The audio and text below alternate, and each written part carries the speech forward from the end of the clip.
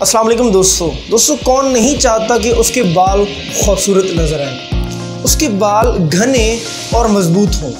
दोस्तों, आज की वीडियो में हम डिस्कस करने वाले हैं कि हेयर फॉल क्या है और किन बेसिस की बिना पर हेयर फॉल स्टार्ट होता है। और इसका प्रॉपर ट्रीटमेंट क्या है, आज की इस वीडियो में हम आपके साथ डिस्कस करने वाले हैं। दोस्तों, कोई भी ऐसी इलनेस मतलब कि फीवर हो गया टाइफॉइड या मलेरिया हो गया। अगर इनमें से एक चीज़ भी आपके साथ एक वीक से ज़्यादा ट्रैवल कर चुकी है, दोस्तों, आपको हेयर फॉल हो सकता है। कोई भी ऐसी चीज़ जिससे आपको लग रहा हो कि आपकी बॉडी की इम्यूनिटी वीक हो रही है, आपको हेयर फॉल स्टार्ट हो सकता है। कोई भी ऐसी चीज़ जिससे आपकी बॉडी में डिसीज हो, आपकी इम्यूनिटी वीक हो, आपको हेयर फॉल हो सकता है।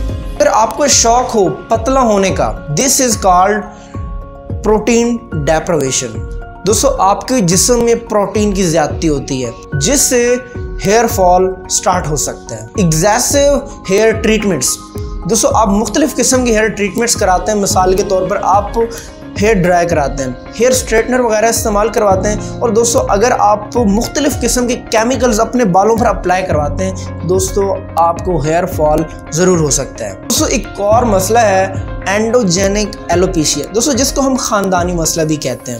मिसाल के तौर पर अगर एक शख्स के दादा परदादा के बाल गिर रहे हैं, उसके बाद फिर उसके बाद उस बंदे के भी गिर रहे होते हैं। तो this is called endogenic alopecia मिसाल के तौर तो मर्दों में है तो मर्दों में ख़ास तौर पर ये जगह टारगेट होती है, जिसमें बाल गिरना और ख़त्म होना स्टार्ट होते हैं। और अगर ये फीमेल्स में है तो सेम उनके बाल पतले और गिरना स्टार्ट हो जाते हैं। तो इसके लिए परेशान होने की ज़रूरत नहीं है, इसके लिए प्रॉपर ट्रीटमेंट्स मौजूद हैं। अब दोस्तों, हम नेक्स्ट डिस्कस करते हैं एलोपेशिया एरिटा दोस्तों, ये एक ऐसा मसला है जिसमें मरीज़ को खुद फील होता है कि उसके बालों से मानो गुच्छे गिर रहे हों। जिसको हम बाल जड़ भी कहते हैं अपनी ज़बानों में और बाल तोड़ भी कहते हैं। अगर इसका ट्रीटमेंट टाइम पर ना किया जाए तो इसके लिए थोड़ा सा मसला हो सकता है। अब वो मसला क्या है दोस्तों, मैं बताता हूँ।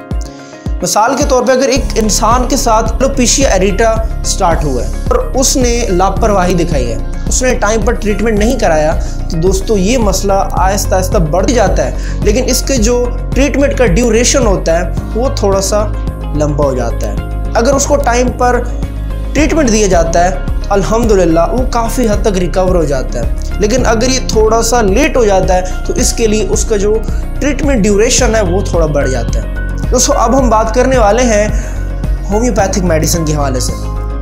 आप किसी भी अच्छे होम्योपैथ डॉक्टर से रजू कर सकते हैं और अपनी केस टेकिंग उसके साथ डिस्कस कर सकते हैं। इसके बाद जो भी मेडिसिन होगी, वो आपको रेकमेंड करेगा। और इसके लिए प्रॉपर आपको ट्रीटमेंट लेना पड़ेगा।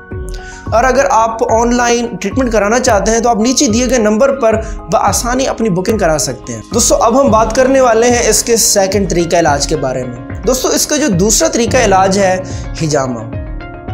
अल्हम्दुलिल्लाह, हमने अपनी प्रैक्टिस में हिजामा से कई ऐसे मर्ज में मुबतला पेशेंट्स को रिकवर होते देखा है। अगर आपके आसपास कोई हिजामा सेंटर है तो आप बसानी इस मसले के लिए हिजामा करा सकते हैं। अपने दोस्त मोहम्मद जुहेब को दीजिए इजाज़त। मिलते हैं एक नेक्स्ट वीडियो में, तब तक के लिए अल्लाह हाफिज़।